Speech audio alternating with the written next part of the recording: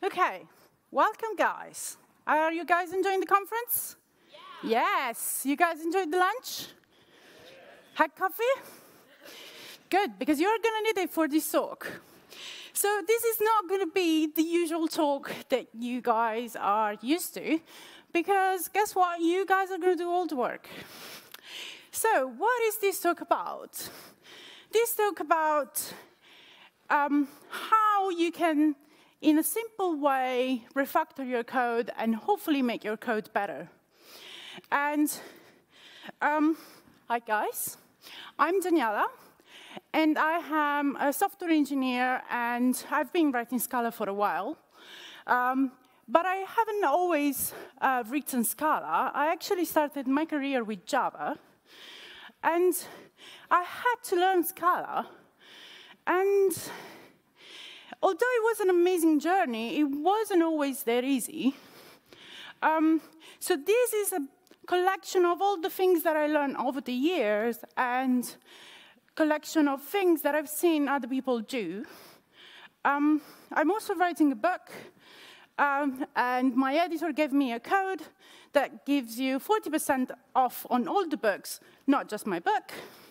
But that's boring stuff. We want to talk about code. So you know, you write some beautiful, elegant piece of code, and then, you know, um, you think it's awesome, and then one of your teammates starts reviewing it, and they really complain about it. They think that it's really not great. So there is this famous picture that tells you that defining good code is really difficult. So depending on how many swear words you use, um, that could be a good measure of you know, how good your code is. But even with the best code, you will still have a couple of moments where, wait a second, what the pip does this code do? Right, so it's really important uh, to try and write code that um, it's the best that we can write. And in particular, when you're learning a new language, it's not just about the syntax, it's also about the idioms, the style that that specific language has, which can be tricky sometimes to master, in particular at the beginning. So I don't know if it happened uh, to you as well, but a while ago I had the opportunity of looking at some of old code that um, I've written in one of my previous companies, and I thought, this code is really, really bad. How could this pass the, the code review? And I did a git blame because, come on, everybody does that. Everybody wants to know who's to blame. And then it turns out it was me, which was um, embarrassing. But the good news is that means that myself six years ago, or six months ago, or six weeks ago, I was writing a different type of code. So myself now is a better coder than I was two, three weeks ago.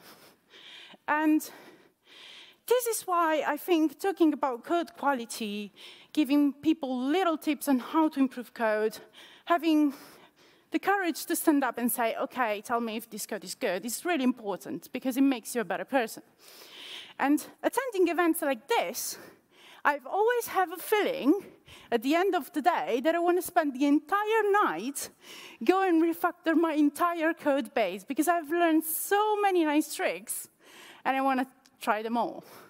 So refactoring is a way of improving yourself as a developer. But obviously, you know, most of the time, we don't work our, by ourselves. So uh, we always have to make our teammates happy. In particular, if one of our teammates could um, threaten our life. So always code as if the guy you hand up with and that's maintaining your code would be a violent psychopath who knows where you live, right? We want to make our team life as easy as possible. But not only that, um, when we write bad code, we inject a lot of complexity that is not necessary. So there are two types of complexity. One is because, you know, the problem that we are actually trying to solve is complex. The, the other one is just accidental complexity. It's just us making the code more convoluted than necessary. So, we are going to play a game today that is my favorite game of all. So that's where you guys come in. That is called What's Wrong with My Code? So, we are going to have 10 rounds. Um, when we are gonna, I'm gonna show you a snippet of code, and I'm gonna ask you what's wrong with my code. And then we are gonna discuss it together and see, you know, how we can make it better. There are gonna be different levels of difficulties. Some will be easier than others. Some will be a little bit more tricky. And there might be problems related to performance, readability, or simply code that doesn't really look Scala enough. Okay? So are we ready for the first round? Yeah? yeah? Awesome. Okay, let's start. So, this actually, I've done this not in production, in a test suite, thank God. But imagine that you have a database, right? And you have a function connection that loads some configurations and then calls a function uh, instantiates the connection to the database. So what's wrong with this code?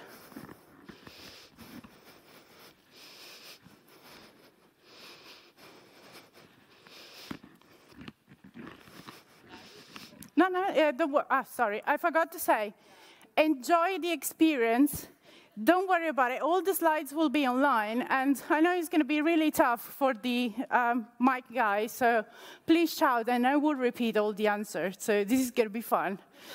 So it, it must be fun for you as well, so don't worry about it. Okay, cool. I am going to give you a tip. So I had this test suite, and I was running it, and it was always, you know, the memory was going up and up and up and up. And I was like, how come my tests are consuming so much memory? That doesn't make any sense. So it turns out that every time I was calling the function connection, I was establishing a new connection to the database. And the solution to fix this is to turn the function into a val. That will avoid a lot of memory allocation. Okay?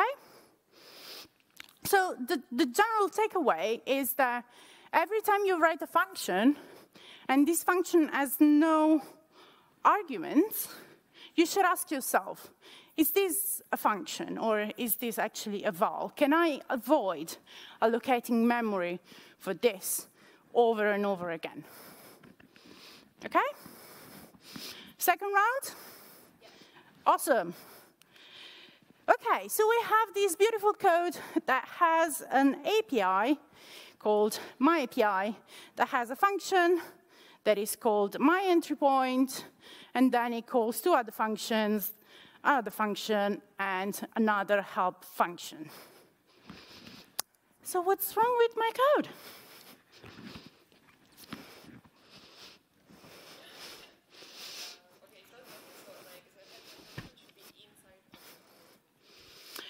Uh, the answer is it's, an, uh, it's a problem of ordering functions. Yes, but I'm looking for something more specific. Any other answers?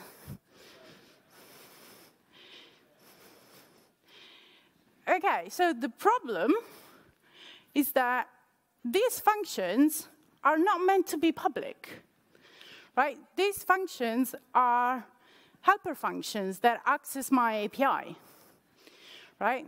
So I come from a Java background, and in Java, at least when I used to write Java, the default access modifier was protected. So you were actually right, because by putting the function within the same scope, you, you are limiting the scope of the function.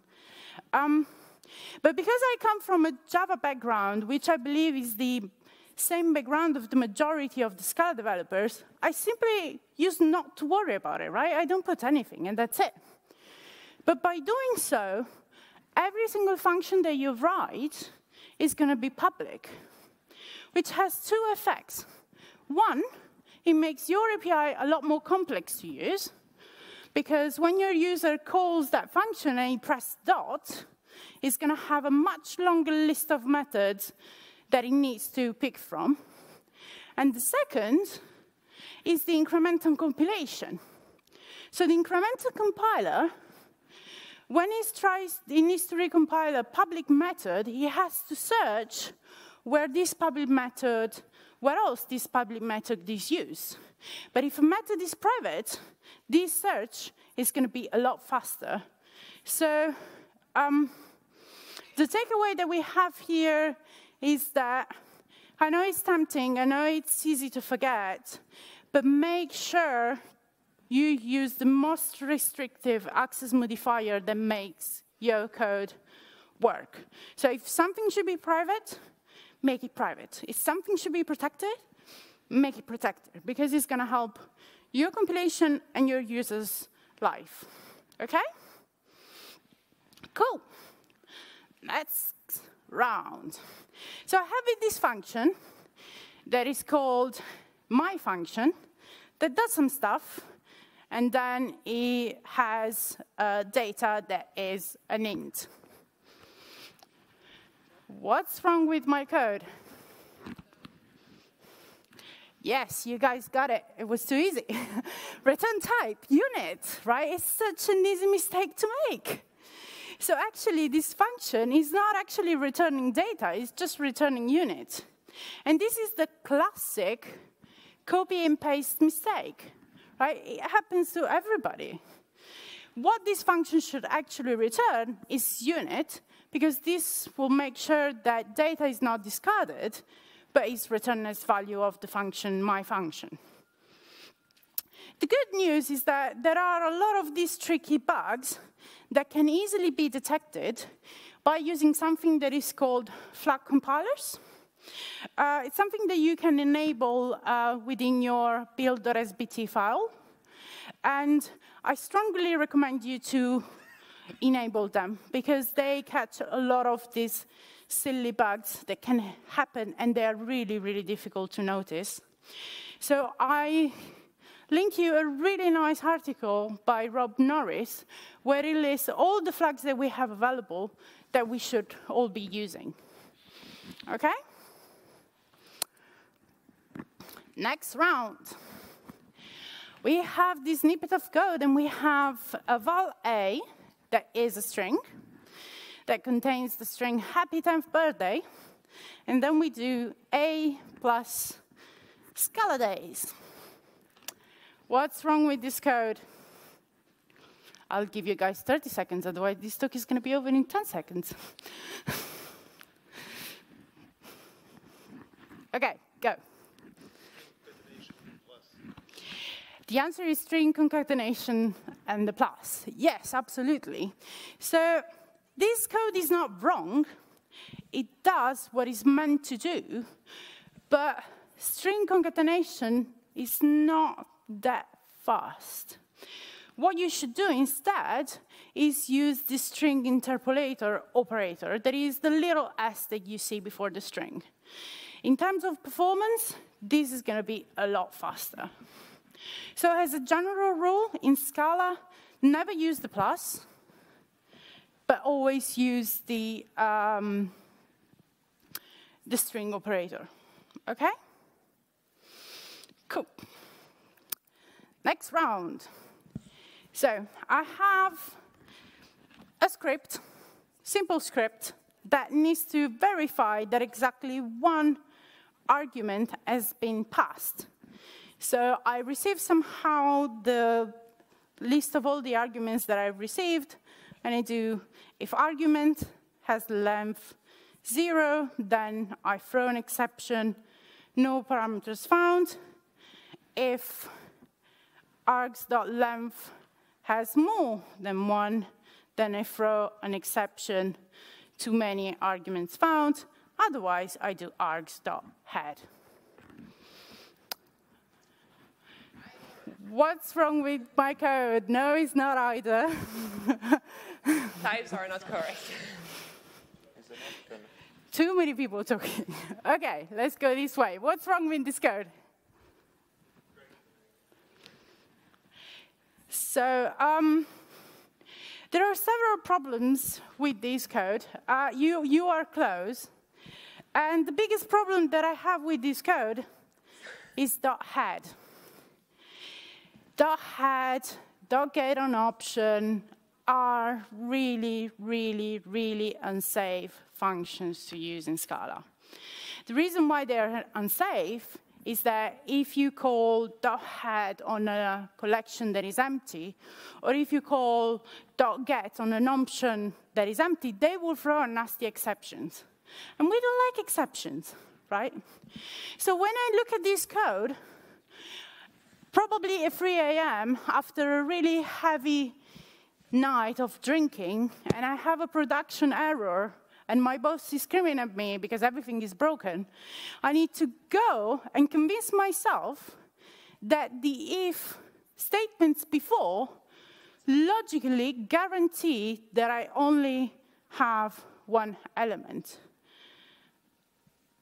Which is fine, but it requires some human intervention around reasoning on the length, right? I have to think that if it's not zero, if it's not more than one, then it's one. So the way of refactoring this is using pattern matching, right? You can pattern match on an array, and you can say, if I have the empty array, then I throw the exception. If I have an array with exactly one element, then I return the element. In all the other cases, I return the other exception. This is a lot more readable than trying to figure out all the if and else statements, in particular because this is a simplification. I've seen functions that were 200 lines long that were one single if, else, if else, if else, if else, else um, statement. Please.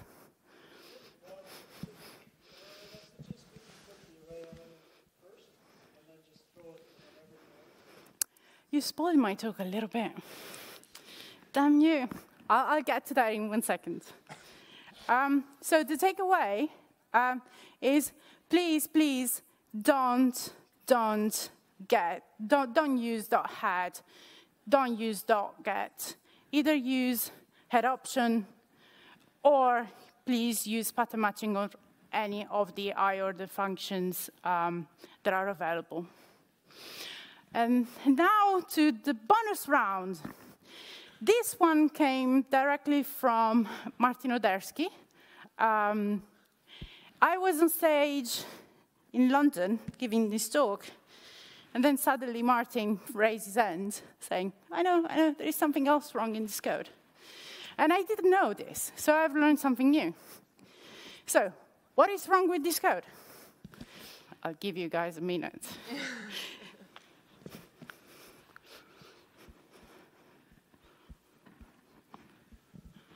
Okay, go.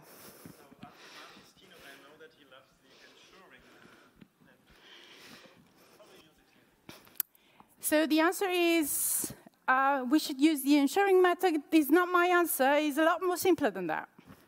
Anything else would like to give it a try?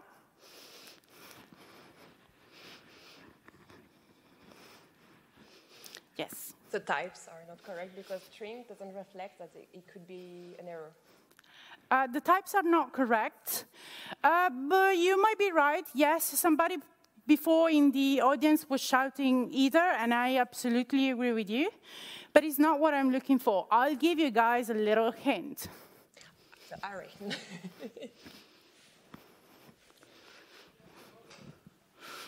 right? Tricky. So apparently, for the compiler, this is not as performant as this. So for some mysterious reason, that I wasn't aware of, uh, it's always advisable to put the happy case first in a pattern matching. So this is more performant. So thank you, Martin. I wasn't aware of that, and I learned something new. so my takeaway is that there you go. Code reviews are awesome, right? You can always, always learn something from showing your code to other people. I'm not saying that you should invite Martin Odersky to your talk and uh, declare on stage that your code is wrong, because that, that's a little bit traumatic, I have to admit. But hey, I learned something new while I was on stage. That's awesome. Okay, are you guys ready for the next round? Yeah. Yes, awesome. So we have a case class, A, that takes an argument that it's an X type int, and then we have a class B that has two parameters, an X and Y, both of type int, and they extend an A of X. I'll give you guys 30 seconds to figure this one out. Yeah. You guys are too good. yes, the audience is absolutely right. Don't extend case classes. Let me say this again. Don't extend case classes because it's going to be a mess. And I'm going to show you why. Because if you extend a case class, then apparently, if you compare two instances, you could break equality. So I, this is a disaster because equality is heavily used in a lot of internals of Scala, which means that potentially you could retrieve the wrong element from a map or other really, really tricky bugs to figure out. Just don't do it. Don't do it. I don't have time, unfortunately, to fully explain why this is really bad, really bad. But I put you a link and also, we will have Nicholas, that is sitting right in front here, that tomorrow is going to explain us a little bit more why extending case classes are really, really bad. So, my solution is to please always declare your case classes as final, because it's going to avoid a lot of headaches. So when uh, Martin was in the audience, we asked him, why case classes are not final by design. And it turns out that there are some um, edge cases in the Scala compiler code that requires case classes to be not final. So I present to you the graph flow of should I use non-final case classes? Is your name Martin Odersky? Not my case. Are you developing the Scala compiler, meaning are you pushing to Scala Scala? I'm not, so please don't use case classes that are not final. If you are Martin Odersky, or you are working on the Scala Scala repo, and you know what you're doing, there is a really good chance that you probably need to put a final there. So please, guys, don't extend case classes because it's, it's really tricky to then figure out what's wrong. Okay, so the takeaway, in case you didn't get it, please make all your case classes final unless you really, really know what you're doing. And if you really need to extend them, don't make them a case class. A case class is just something that the compiler adds to you can rewrite the same methods that a case class has just manually. Okay? Next round. we have this beautiful piece of code that is a function that is called do something that takes two parameters, a boolean that is called enable A and another boolean that is called enable B and it returns whatever unit. So what's wrong with my code? I'll give you guys a minute, otherwise we are going to be here done in 10 minutes.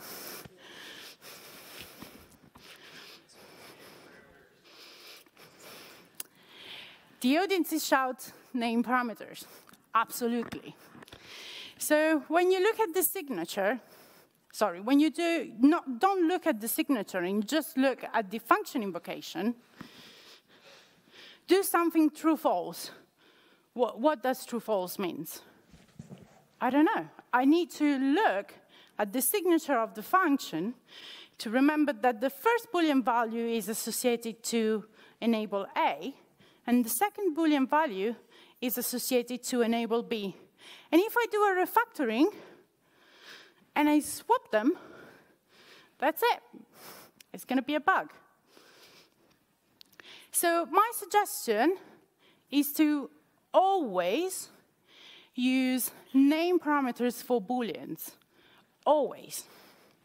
Because they are so easy to mix up. Yes, we have a question.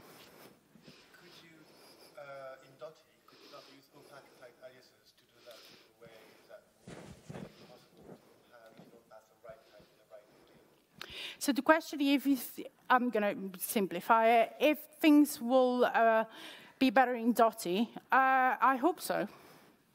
Um, the suggestion that I have is not to do this just for Booleans, but to do it every time you have more than one parameter that, is, that has the same type of another one. And I've seen functions that take 10 parameters and all of them are Boolean, which are really, really tricky to use. Uh, if you have more than three parameters of the same type, please do consider making something more type safe. You could have an object or a case class that wraps all these Booleans, um, because this will make your code safer and easier to read as well. So the takeaway is don't be afraid. It's an amazing feature in Scala. Use fully named parameters because it makes your code a lot more readable. Okay, ready for the next round? Yeah. Yes. So we have this function that is called do something that returns an int. And this function calls three functions a, B, and C, A plus B plus C, then you have a function that is private A that returns 42, a function that is private that does some, reads some stuff from a database, then we wait on it, and then we have a private function C that returns 24. I give you guys a minute, but what's wrong with this code?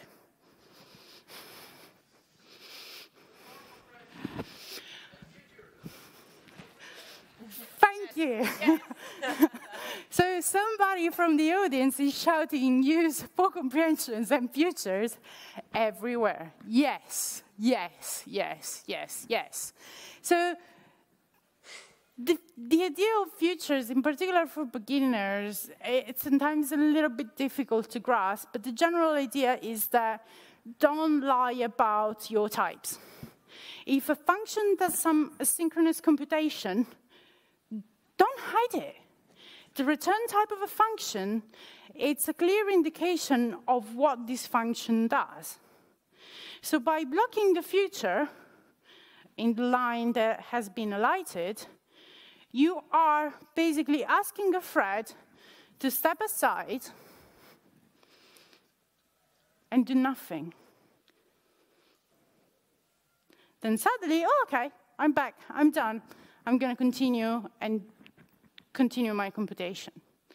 So this is terrible because you are wasting a lot of computational power. So don't lie about your types. If the function b does some asynchronous computation, returns a future event. And as somebody was shouting from the audience, we know how to deal with futures, useful comprehension. That's a much better way of extracting the result that is returned by your future and combining it.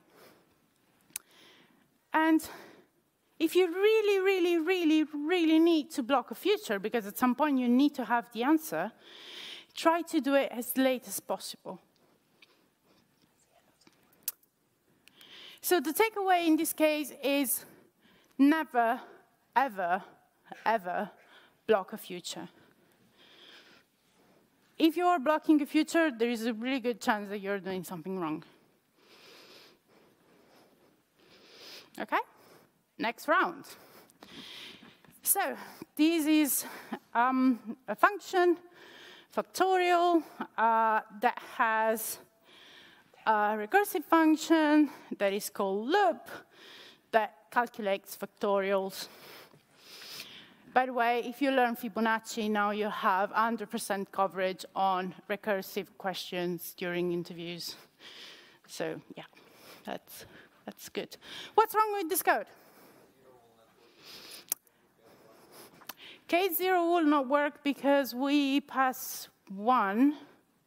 I'm not sure that's the answer that I'm looking for. It might be that my code is uh, wrong and yeah, that happened before in my career, uh, but it's not what I'm looking for. But yeah, uh, let's assume that my, my factorial is actually correct.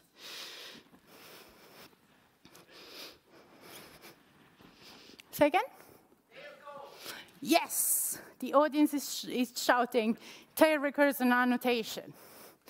So when I started coding in Scala, the tail recursion annotation was triggering an optimization in the compiler.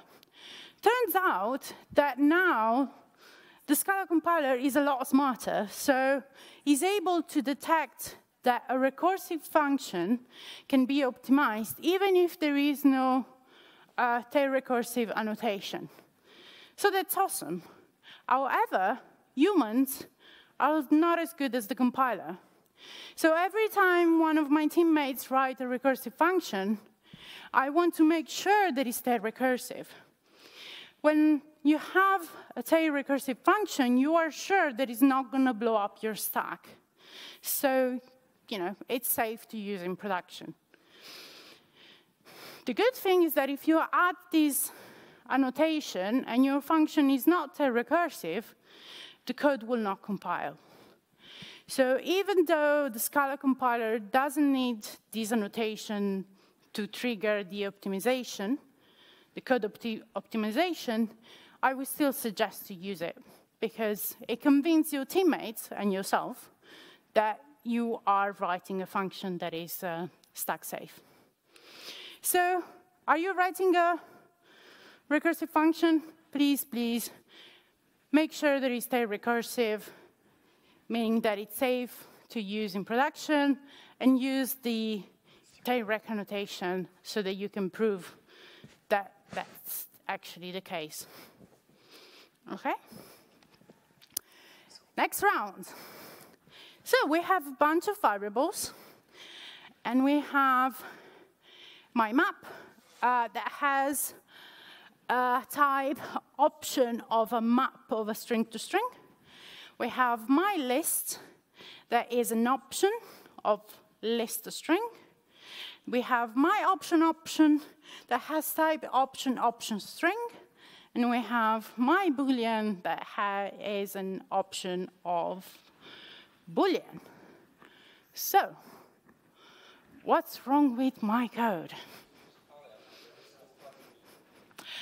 Somebody in the audience, yes, is shouting, you could use alias because it's hard to read. Yes, I agree with you, but that's not the point that I am looking for. But yeah, that, that could be a good improvement. Type erasure, uh, no, it's a lot simpler than.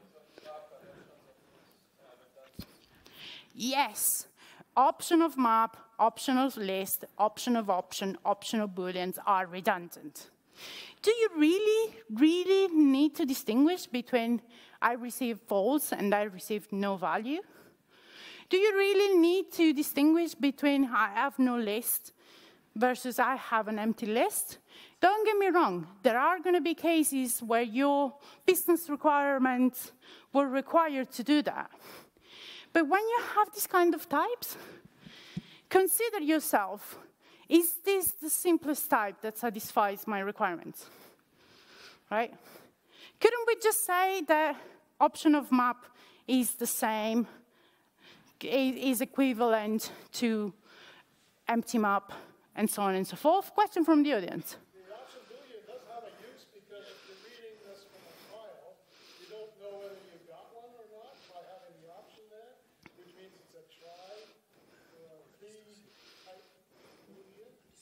So the comment from the audience is that option of Boolean actually have a valid case, in particular when you read from file. And I absolutely agree with you, but that is probably 1% of the cases that I've seen. Uh, so yes, I agree with you. There are specific cases that uh, require an option wrapper or to transform this into a try.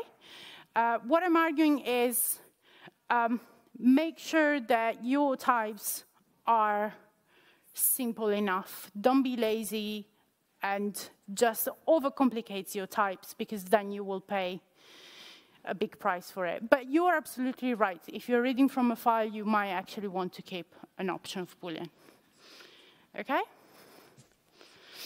So in this case, the takeaway is don't be lazy. Try to think about your types. And if possible, try to simplify them. If you're starting to have too many wrappers, then there is probably something that is not quite right. Probably, as the, the, the, the, the gentleman in the audience suggested, maybe you need to try, right? Uh, but when you start nesting too many types, uh, it could be a design issue. Um, cool. Um, so those were all my rounds. And this is the summary of all the things that we have seen. These obviously are not uh, global rules. There are always exceptions. Um, but these are my suggestion uh, for people that may be just starting in the language of things to look out for. So we discussed about um, function that takes no parameters. Uh, and the fact that sometimes they allocate too much memory. In those cases, maybe you should consider transforming your function into a val. We have discussed about the fact that depending on your background, you might tend to forget about access modifiers. And you should always try to make your function as restrictive as possible. It takes one second to make a function public. But try and control the visibility of your code because it will make the compilation faster and it's going to make your um, code easier to use for other people. Enable compiler flags because there are some bugs that are really silly, that are really easy not to see and they can really, really save you. So I really strong you, I strongly suggest you to go and look at the Rob Norris article about it. Um, don't use don't use string concatenation. I think I said the opposite there. sorry. Um, be careful when you are combining strings. Always pick string interpolation over string concatenation because it can really have an impact on the performance of your program.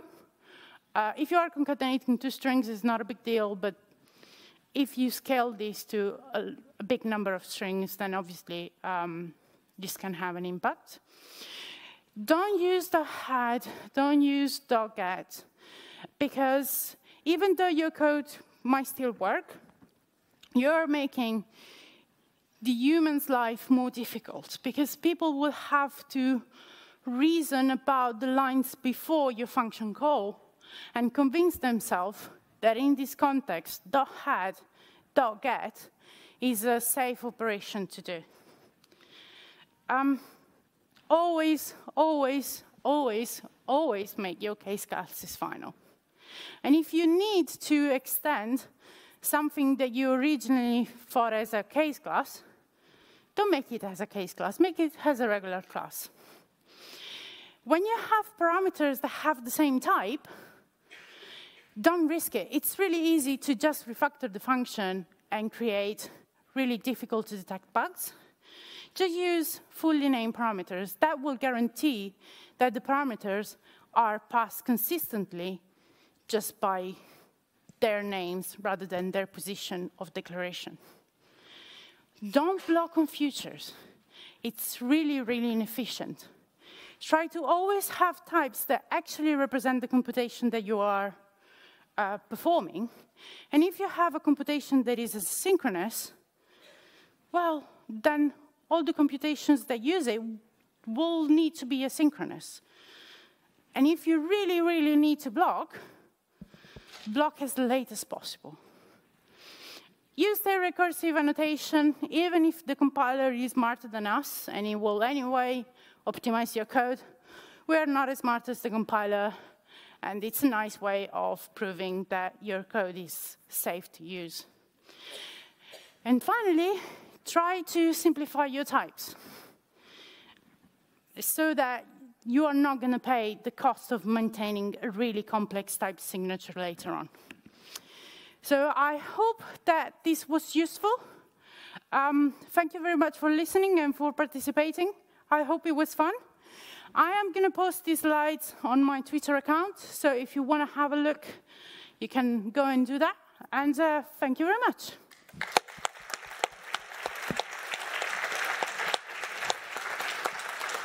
And so now it's time for questions. So if you have some, just raise your arm and I come to you. Okay, first here. Yeah, just simple question about um, the programmers who rely on uh, some code before, and when you use head, isn't unit tests cover these risks? Because uh, yeah, you shouldn't believe yourself. You should or trust yourself. You should write tests. Absolutely. I mean, writing good code doesn't doesn't allow you not to write tests. I, hope that that was not the message. Uh, yes, absolutely. We still need to write unit tests, integration tests, whatever we need. It's just that uh, avoiding certain functions avoids um, avoid the uncertainty when you are either review the code or refactoring a code. But you are absolutely right not using the, um, the method .head or .get doesn't mean that we don't have to write a unit test to guarantee that you know, things are actually working. So you're absolutely spot on. Writing the good code doesn't mean that you don't write tests. So about unsafe collection functions, I got bitten in the ass by collection.max and collection.min. So not only head and get are just be very, very careful. uh, yeah, absolutely. I mean, uh, uh Scala, Scala 213 uh, came out like two days ago, uh, but as a matter of fact, uh, th there are still a lot of functions that, that, that, are not safe.